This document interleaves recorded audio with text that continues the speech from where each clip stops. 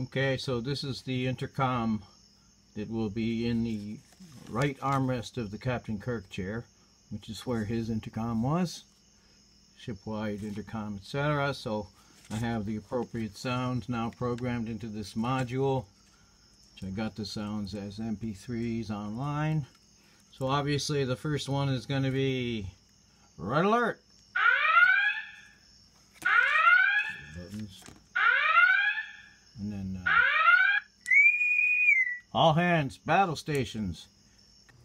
Uh, here we have the uh, left armrest control panels and the rocker switches. These are made by uh, 3D printer and you buy them online and, and they're all fake. So I inserted the pressure switches from the module underneath so now we have non-working switches that work. So and uh, away we go. Red alert! All hands, battle stations. Computer, plot a course to Vulcan, warp 10.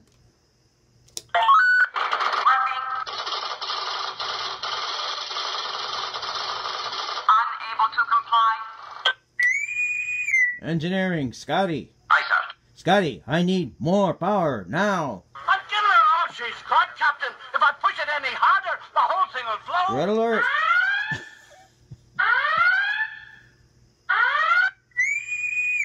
Stand on red alert.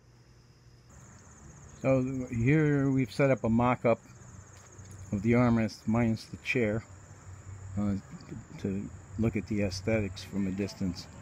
a lot of uh, a lot of coats of paint and sanding in between coats, so that you would you don't see any of the lines or places where the wood pieces fit together, and none of the screws are visible. I use a lot of screws, and uh, where I rounded each edge off looks good. So, um, so it looks like uh, we're on the money. It's time to. The error message on my phone. It's time to uh, figure out the attachment of these to the chair, which will be probably some long bolts through the armrests on the chair and then we'll use T-nut fittings mounted from the inside so that we'll have a nice strong uh, attachment. Problem with spray can spray paint is from certain angles. You can see the uh, spray lines which uh, kind of pisses me off they could make better nozzles on those cans if they wanted to. But you know this is gonna be it. So you know you'll hit the lights you know for yellow alert. Oh shit. Gotta glue that. Yellow alert doesn't give you any warning sound but red alert and then you hit the uh, siren. And the uh, all hands intercom so everything works everything's great it's uh, it's better than I thought. When I first thought about it, I wondered if I could do it this good, and I'm pretty satisfied. Pretty authentic.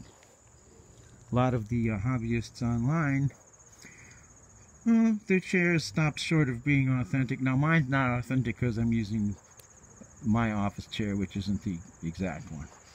Cares? But uh, other than that,